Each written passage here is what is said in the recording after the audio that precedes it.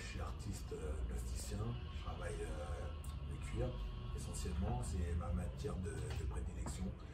Donc mon parcours concernant la peau, c'est quelque chose que j'ai toujours apprécié, travailler dès, mon plus jeune âge.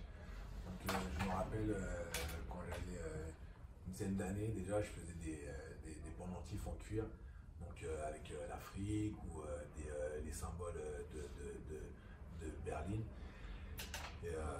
c'est par la suite je me suis rendu compte que c'était une histoire qui, a, toujours été en fait. en fait, avec les années, à force de travailler la matière, je me suis rendu compte que j'avais un rapport avec, avec la peau, donc le lien avec l'animal qui, qui, était très fort et j'ai une réelle sensibilité face à ça. Donc voilà.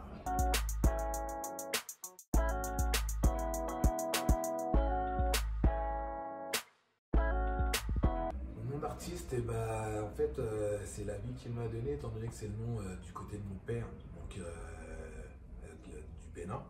Donc Ganglo, en fait, c'est le nom du côté paternel d'Afrique.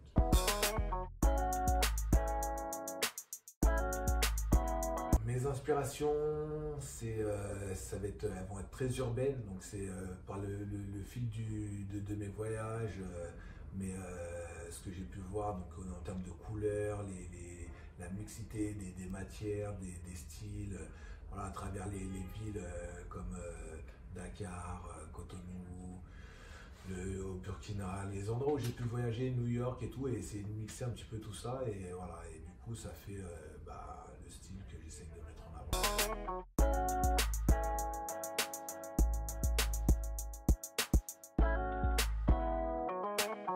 Message, après, euh, il est libre à chacun par rapport à ce que moi je présente, mon travail. Après, euh, les émotions, je sais qu'elles sont tellement euh, diverses et multiples. C'est vrai que quand je travaille les masques, c'est quelque chose au niveau des émotions. je sais qu'il y, a vraiment une grande diversité. Après, moi, mon message, c'est justement de prendre conscience de cette, de cette mixité artistique. Donc, pour les masques, c'est vraiment le lien du culte avec euh, la matière première. Et moi, j'ai un vrai, vrai, vrai, euh, un vrai respect de la matière. Donc, euh, voilà, c'est ce côté spirituel que j'essaie de, concilier avec, avec le support qui est le bois. Là, c'est, je parle concernant, concernant les masses. Et après, j'espère que derrière cette mixité, ce travail-là, se dégagent des, des, émotions diverses que les gens qui me suivent peuvent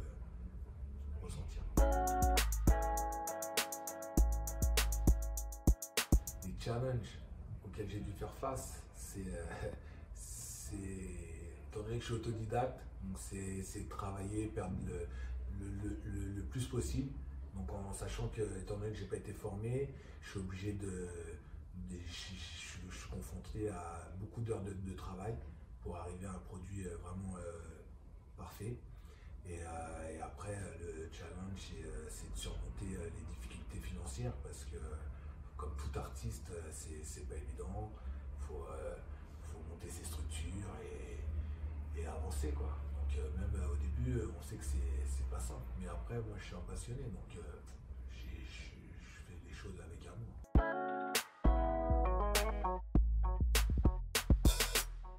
Au-delà de l'apparence, il n'y a qu'une chose pour moi qui est, qui est, qui est importante, c'est la qualité du travail. Donc, en France, euh, c'est quelque chose qui est, qui est dans, comment dire, qui est, culturel. Le, savoir-faire français, c'est quelque chose qui est réel. Donc, euh, moi, j'ai grandi ici. Je sais que je m'entoure de, d'artistes, créateurs, designers qui font des choses de qualité. Et euh, on a la chance d'être à Paris, du coup, il y a même des artistes qui viennent du monde entier. Ça nous permet de voir un petit peu les différentes créations. Et aujourd'hui, bah, on se doit d'être performant en termes de qualité. Euh, Alors, mes journées de travail, euh, elles sont organisées de manière à, être structurées. Dans, en fait, euh, étant donné que en fait, j'ai trois secteurs. Donc, j'ai le, les, les, les, créations textiles, donc je fais. Donc ça, c'est de la sous-traitance et donc c'est une gestion qui est, différente. Et après, comment j'organise mes journées de travail, et ben, en fait, quand, quand, je travaille sur les masques, et ben, je vais faire que, que ça. C'est-à-dire je vais, je vais me concentrer uniquement sur les masques. Et, voilà. Donc, je vais bosser. Maintenant, c'est vrai que c'est des journées de 10 heures, voire 12. Et s'il faut faire 14 heures de, de, taf, on le fait. Quoi.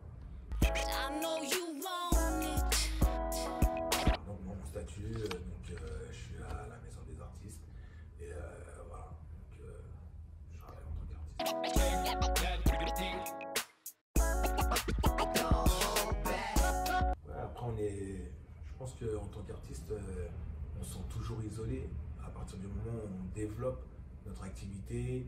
C'est quelque chose qu'on Bon, après, on a la chance d'avoir des, des réseaux euh, qui nous permettent d'avoir un peu de visibilité. Mais euh, c'est pas tout. Euh, derrière, il faut, il faut des, des, des, structures qui sont en place.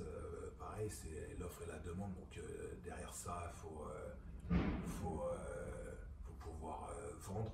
Donc voilà, avec des structures qui sont en place. Les projets pour la suite, c'est essayer de faire des, créations euh, murales et continuer, et continuer mes, mes événements, euh, voilà, mes, euh, exposer, voilà, avancer et optimiser la qualité de mes créations. D'accord, merci.